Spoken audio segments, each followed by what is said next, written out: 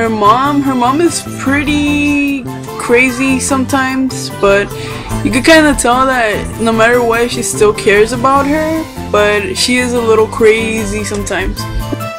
Et ça aussi, comme je disais avant, je pense que c'est vraiment euh, dû au fait qu'elle qu veuille le meilleur et qu'elle qu avait envie de peut-être d'éviter à sa fille de souffrir si c'était quelque chose de mal. Mais, euh, mais d'un côté, je pense que il vaut mieux laisser ses enfants faire ses propres choix, et, surtout à cet âge-là, parce que je suppose que Mimi a quand même, est quand même un âge où euh, elle peut prendre ses décisions toute seule. Hein.